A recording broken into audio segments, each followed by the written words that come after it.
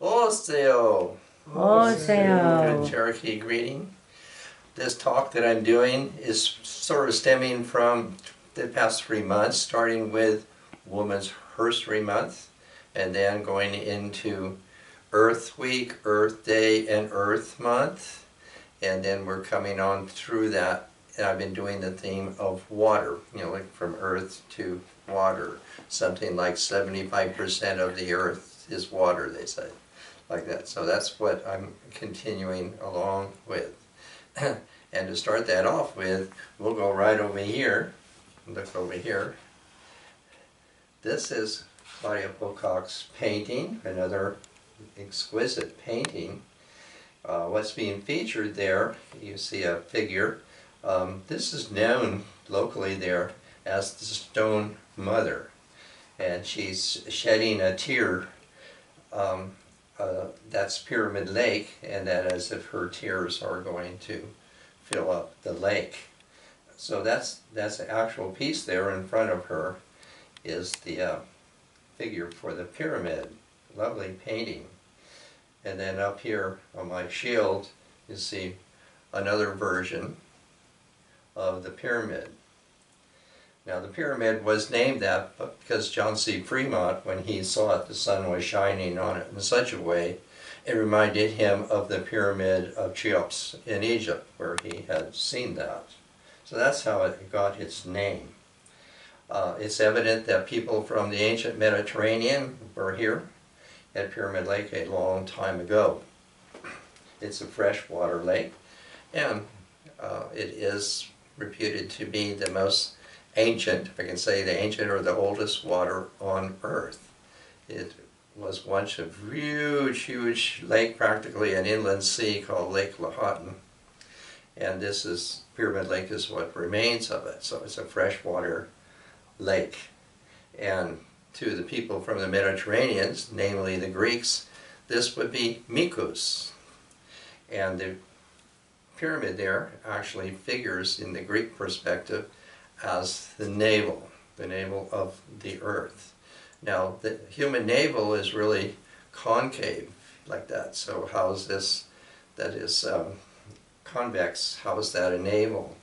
Because a woman, pregnant woman at the end of her term, her navel is protruded out like that. And the baby that she gives birth to for a few days also has a protruding navel. So this is a symbolic of fertility and birth. That kind of thing is the way that it figures in there. And down below the painting, here's a sculpture of a horse's head. This is Claudia's sculpture. It's a stoneware. And this brings my theme to the fore. My theme is both water and horse. In particular horse, for one, will be the um, winged horse, the flying horse, usually known as Pegasus. So I'll kind of start with that. Uh, Pegasus is the offspring of uh, Demeter and Poseidon, you know, in the simple way of putting the myth there. The name uh, Pegasus, it comes from the Greek word meaning spring, springs. And so that initiates it in terms of uh, water, kind of water that comes from the earth. Now if we go over here and just look at this piece right here, this is a way of, of starting it here. Uh, Pegasus goes to this place, this, this mountain, Mount Helicon, and he stamps his foot. And when he stamps his foot, water spurts out, and that's what I have here. And this miniature amphora, you know, with little water, water snakes on it, and all of that. So that's pretty much the, the standard version. Mount Helicon, Helicon, uh, that the word itself, you know, would mean human, but Helios is also a poetic word for water. Also, perhaps an earlier version of this is actually the mother of Pegasus, you know, and collectively known as Demeter. But here, this was her foot here, and in this, then she is known as Lesepi. Lesepi is the mare, the uh, horse goddess herself. That she she stopped and the water came out. What we have going on here all the time in Greece is a change from a totally female orientated culture or cultures there we call it generally say matriarchy great goddess and that sort of thing uh, but another ideology started infiltrating in there and in this particular perspective we would say it's the achaeans. They have come in from the north and they are bearing a quote father god zeus. And gradually gradually that starts to change everything. So you have a lot of doubles in this uh, like that. So at this point I want to want to say that after my uh, college I had you know seven years of uh, art history for my MFA and in that I had also had wonderful lessons from Dr. Piotrowski on the ancient art history of the Mediterranean. And so when I finished with my MFA, I did a teaching at Columbia Community College for a year. And then Claudia and I moved to Arizona. We moved to Tempe, Arizona. And now I really had an opportunity to recollect in my education. Just down the street from us, there was a little bookstore that was very, very good.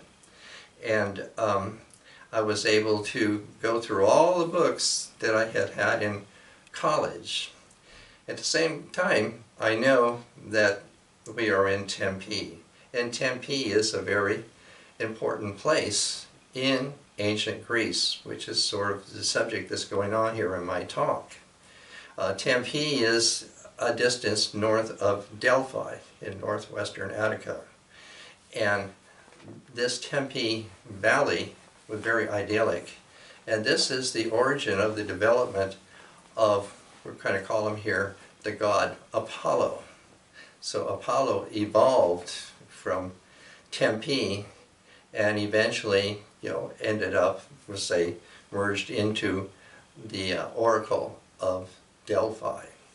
So the, the Oracle, well, to start off like that, uh, the, uh, Theos pretty much you know means means God or divinity, and we have still in our language you know theosophy or somebody's name Theodora, so theology, all of that is the the Greek rendering there. Uh, for the female, it's Thea. Thea is the oracle of Delphi. She doesn't speak, she doesn't hide, she shows by signs. That's a quote from Heraclitus. The form of Delphi that is the most famous of all the clefts in the whole country of Greece owed its name to this mythic, mythical uh, image, and that is Delphi. Delphi is signifies the female generative organ.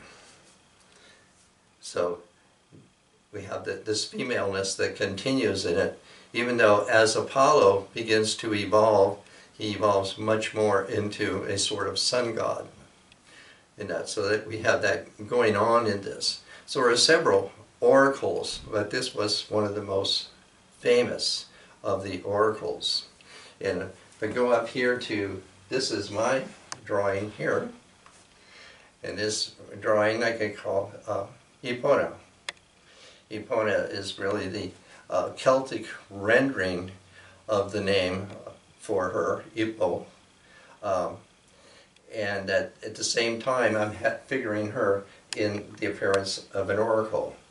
Um, here she is, the oracle, as the mare-headed goddess Demeter, and here she's holding the bird, and there is the oak tree as the uh, the oracle tree, we call him the divine oracle tree. So that's what I have going on here in this. And uh, below that here is my painting, a replication actually, of Pegasus. So again, the name pagan, everybody's heard the word pagan. Where does that come from? It comes actually from a community on the very, um, I would say, northeast part of what is now Italy, on the Adriatic Sea there. Um, this idea of a spring, a spring, you know, shooting out. so the people who surrounded the community that surrounded this particular spring actually uh, named themselves after Pegasus, uh, pagans. And for some reason, uh, the Christians, you know, started eventually, long time, uh, somehow uh, persecuted that and kind of turned it into something else. But that's basically where that, that word pagan has come from, cognate with Pegasus, which again comes from spring, you know, spring. So there where uh, Pegasus, you know, stamped his foot, or his mother, Hippie, uh, stamped her foot, that became the, uh, the hippo, hippocrene. The word hippo, or hippo, without the aspirin, all is horse. It all means horse. So we have different renderings of that. Curiously, it was recorded when the Celts, you know, came down into this area, into Delphi, they used the Celtic word for moras, moras meaning the mare. So then it's very curious that the Latin had picked that up as the mari, like the mare tenebrosa, like the dark sea mare, like that. So the Celts recognized there in Delphi the presence of, yeah, the goddess. So all of these various words, you know, have the, the horse is part of it. Now Poseidon, usually figured as, you know, an earth shaker, a titan of the earth, and so forth, uh, he has a bit of an, an evolution also. And that he, you know, seems to begin as, quote, you know, a horse god. Actually a horse god. He's credited with bringing the horses from Libya to the Peloponnese. So he's very much figuring that. And then he, in a very later Zeus fashion, couples with Demeter. You know, and Demeter has uh, three children that are all horses. You know, forget you know the golden horse and so forth. I forget all their names. You know, but they are all uh, figure in like hippie, ippy, uh, ippe has that sense of horse in all of it there. So water and horse, especially um, spring water. Poseidon was both the lord of fresh water as well as salt water. He also seemed to be at some period also figured as a dolphin, so that's why you have a dolphin here. And before uh, these myths and legends and all of these characters, spirits and myths like that, eventually they, they in my study of art history, you see it happen pretty quickly, um, comparatively. They began to be anthropomorphized, began to turn into people. But uh, before they were people, well, a horse, and in the case of Poseidon, a dolphin, and also Apollo. Apollo is the dolphin, and his name seems to uh, suggest that, you know, Apele, uh, seems to be a, a, source of his name. So, you know, all down here, I have this figure, since Pegasus is featuring here for all of this kind of water. So, to have uh, a spring water, to have water in a vessel, you know, like an amphora, um, all these kind of things that figure that. And here, you can show this, this is a fountain, a fountain also will be, we'll say, you know, the province of uh, Pegasus. And so we have this all flowing down, and here's Pegasus, and here's a figure of Pegasus. Now, the latitudes, the, the uh, achievement or accomplishment of the latitudes was brought about in about the 4th century BC, you know, by Eratosthenes. And that made it possible for these sea people, the Pelasgians or the Greeks, you know, to begin to create a whole harmony of this part of the world, of the Mediterranean. So that has made it all possible in how water and horse and the alignments figure into that. Last week I was mentioning the island of Rhodes um, as a place that figured, centered in the uh, sacred latitude, the sacred parallel that came all the way over here to Turtle Island and even resolves itself here in eastern California at Ridgecrest. Uh, Ridgecrest is at rather the very more or less south end of the Owens Valley. But whole Owens Valley then continues, you know, in a latitude sense to the country of Greece. And at the very north of that is Pyramid Lake. And that's what you know have figured over there as Pyramid Lake, as this freshwater lake. But all of the other senses of water that comes through. Now here, this, I've replicated this. This is Demeter, or the Hippodamia. The, the name Demeter is actually from her original name, Hippodamia. So she is known and was known as the horse goddess or the horse-headed goddess or the mare, anything to that effect. And this was actually from um, her shrine there in the Peloponnese. Here I have made an illustration here. This is a vase painting, which is very interesting. Uh, there you can plainly see that there is a woman. Ostensibly, she's actually at a fountain. She's actually at a fountain, and, and the fountain is here, and there is a lion's head that's pouring out water into the amphora. The amphora is also a symbol. Between the two, Leo and the amphora, we have now entering into the zodiac. The zodiac that this is Leo and Aquarius. And these are very, very important. Uh, in about the 8th century BC, the zodiac had entered in. Once that the Greeks looked at the stars, and the stars were stable, and then they began to join them, the stars and the planets and all of that. And so they kind of began to figure, once they had the, the latitudes uh, and could figure all that, they had a kind of a network so that the zodiac figures came into it. It came into it so much as eventually you could lay the figure of the zodiac like a circle down over the center of Delphi. Delphi would be, you know, the center of the earth, the omphalos, like that. And all of the ways that these radiate out. So one of the, again, the symbolism of the female is, you know, a triangle. So to figure a, a triangulation in this from Delphi all the way south to Crete, Mount Ida. And then from Delphi all the way to Cambrios in Rhodes. That's the importance of my having this water jar here that is from Rhodes.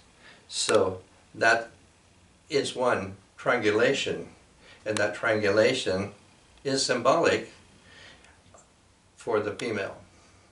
It is almost uni almost universal. And also from Rhodes, there is a direct line from that latitude straight up through Delos, which is the birthplace of Apollo in the Cyclades Islands, and it goes right on through up to Delphi. So that makes a, a definite relationship of Rhodes to Delphi. Now each of these places has an oracle, an oracle of some kind, some of immense antiquity there. So again, my illustration here, you know, referring to that as an oracle. And if I can step aside here, can you see this illustration behind me? Uh, this is actually the oracle of the talking tree. And my replication here is from the neck of a amphorus um, of 2,700 years ago. So that you can look at that Greek rendering there from so long ago. So back to the relation here of Aquarius and Leo. These are on an axis, and this axis is the sacred spirit of the whole country of Greece. I'm just putting it, you know, simply.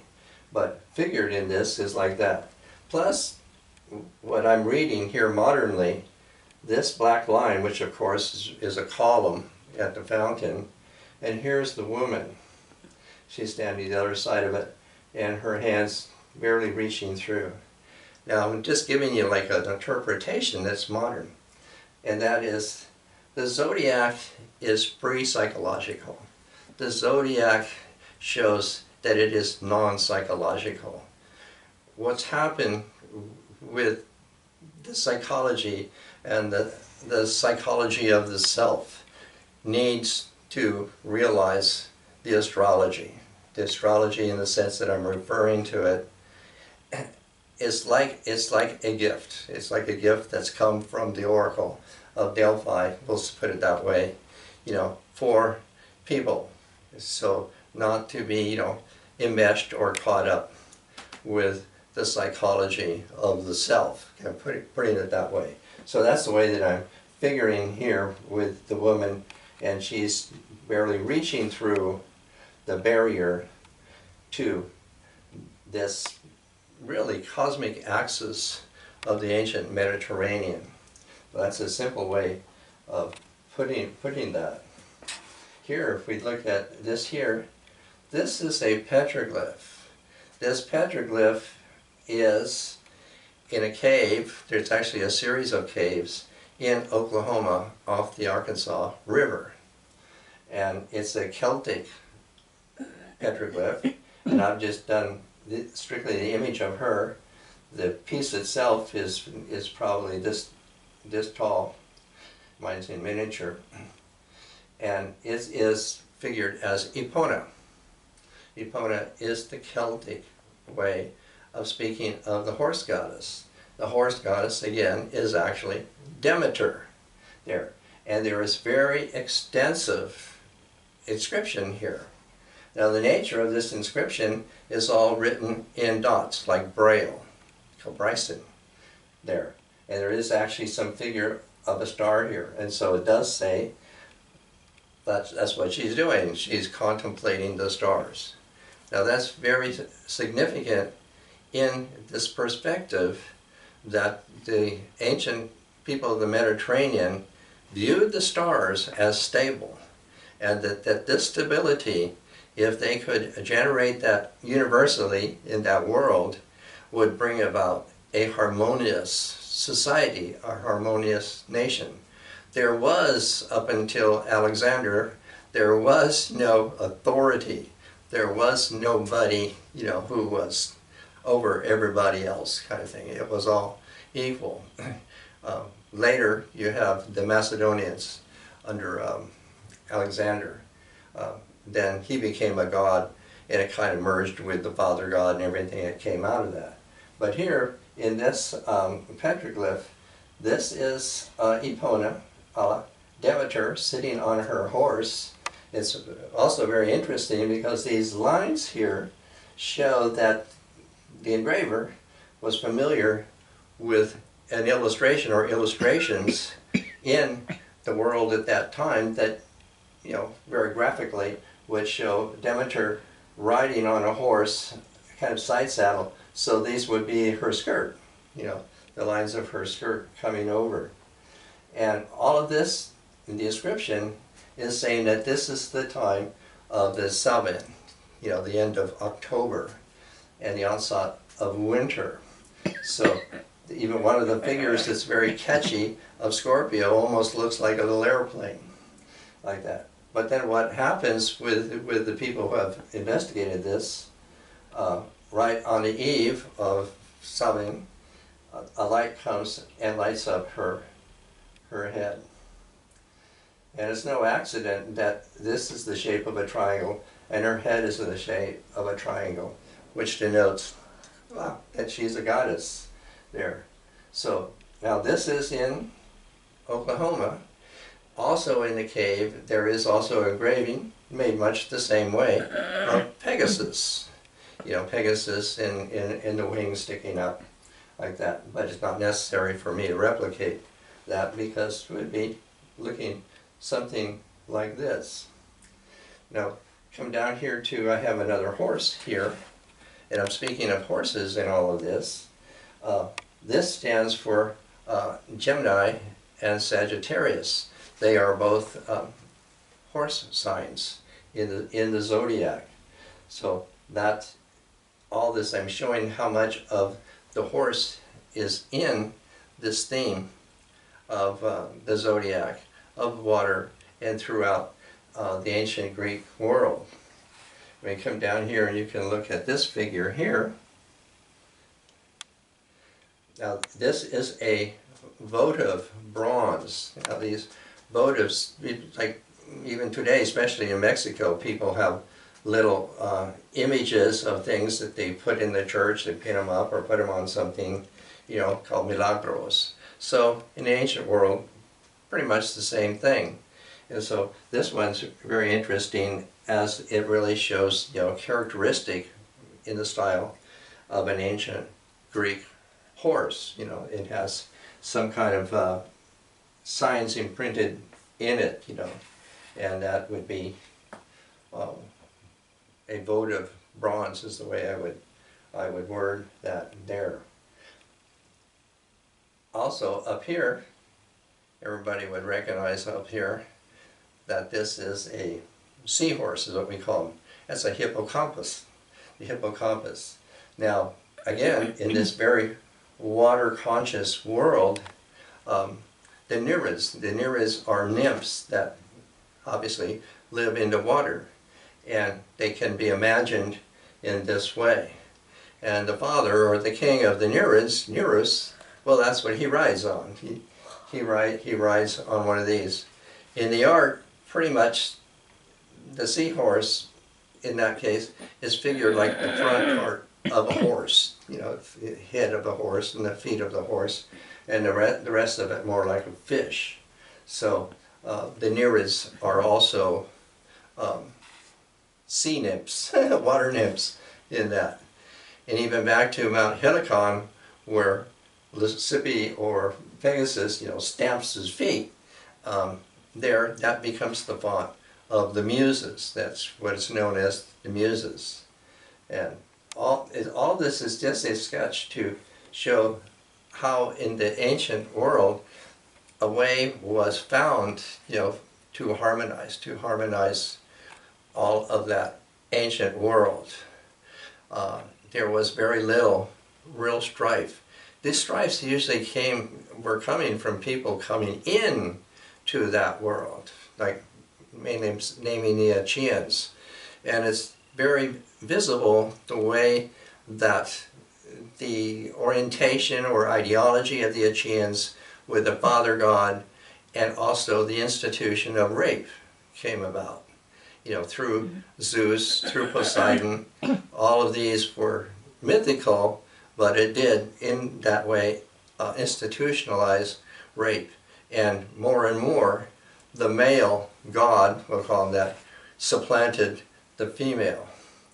The last phase of the Mediterranean, of, the, of this uh, mother culture uh, that I studied in college was called the palace cultures. And these palace cultures were mainly survived on the islands longer than they did on any mainland. Uh, there's other ways of alluding to it. Um, uh, what do you call Hel Helen of Troy, that and that she was abducted or eloped, you know, with Paris to Troy, and that started the whole war. Really, she's the moon goddess who circulated through all of these shrines all the way through uh, down to Crete and all all the way around all the way up to Troy that she was reigniting.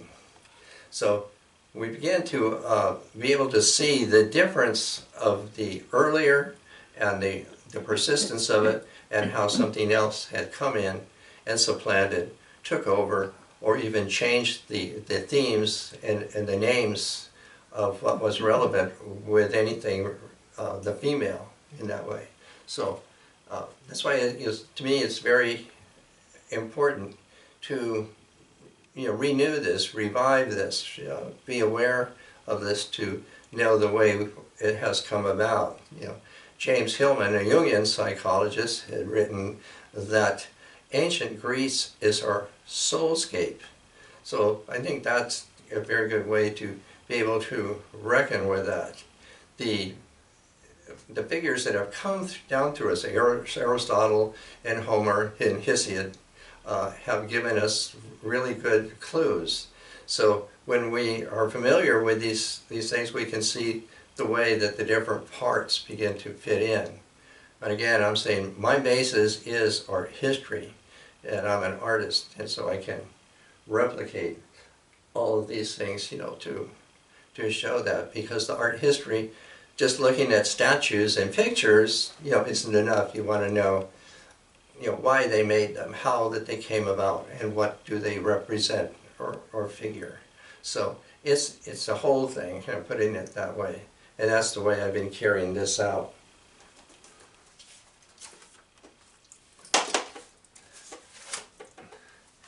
So if we understand that all of these figures, even the ruins that are still uh, recognizable, I mean, people can find the ruins in the, in the ancient Mediterranean, in order to see that what the ancient people were doing, they were making a mirror of the heaven. They were making a mirror of the heaven because the heaven is stable. And that as far as everybody, the population, and there's many islands, many islands, and they all have different views. But there was enough of, of something that was coherent that more or less everybody was together with it. So all of that until conflict, you know, entered into that world was relatively good. It was relatively harmonious. And it's really a, a way for us to recall, you know, that human world. And so that is very much um, the way I feel in presenting this theme and what I can contribute to it at this time. Now, Mary Oliver, my favorite co-partner here, here she does have something with the Greeks. And so I'll do this poem, and she has titled it Deer in the Meadow. Wind and rain, then it grows colder. Ice gathers on the wire bounding the empty field. Then six deer walk from under the dark pines, their heads high, their eyes soft and alert, their legs fragile, seeming, though they are not fragile. Inside the house, it is warm and cozy. In the Iliad, which I have been reading, Achilles has just refused to put on his beautiful armor. Yet he has said that his friend Patroclus might wear it. And now he is watching his darling as he straps the elaborate, heavy armor over his gleaming body. Just as though there was a way to do something in this world and be, by the gods, unnoticed Patroclus will not come back from the long day's fighting. Rash and sorry, prideful and angry, Achilles will swirl and swirl like the wind. It comes to nothing. What a brave story. You would think the deer would go back to the thick pines, but still they stand in the field, gazing and gazing. See how their beautiful bodies darken and tremble. See the white rain come down over their eyes. see how it makes light of all of it.